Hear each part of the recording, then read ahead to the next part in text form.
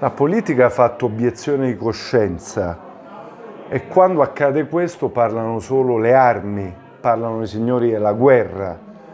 Incontro con il deputato Arturo Scotto nella sede del Partito Democratico a Lanciano per parlare del nuovo conflitto scoppiato in Medio Oriente. E oggi eh, nel conflitto tragico medio orientale sembra che non ci sia nessuno, nessuna strada possibile per la diplomazia. D'altra parte, nonostante le Nazioni Unite finalmente dopo cinque mesi siano riusciti a votare nel Consiglio di sicurezza lo stop alle armi, il cessate il fuoco, il governo di Netanyahu di Israele ha fatto finta di nulla. Serve un'azione più energica della comunità internazionale. Serve che le armi ad Israele non arrivino per evitare che continua questa strage di palestinesi che ormai è arrivata a 34.000 morti e si riapra una prospettiva possibile dopo le macerie di questi anni per la pace, per la sicurezza di Israele e per il diritto dei palestinesi ad avere uno Stato.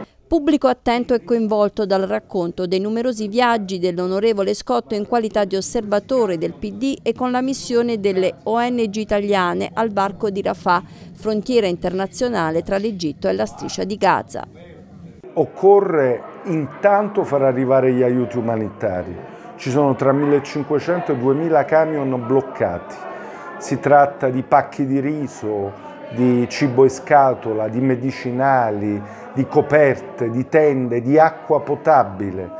Se non c'è un cessate il fuoco immediato, i rischi epidemiologici sono drammatici e come sappiamo nella storia dell'umanità più delle bombe uccidono le malattie.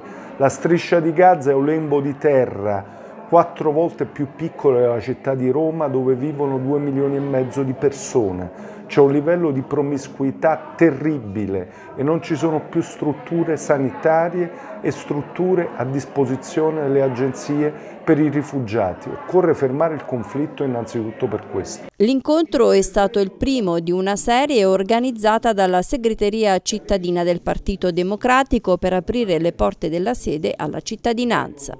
Noi abbiamo detto dall'inizio che Israele che la reazione di Israele ai tragici e terribili e ingiustificabili fatti del 7 ottobre era fuori dal seminato del diritto internazionale.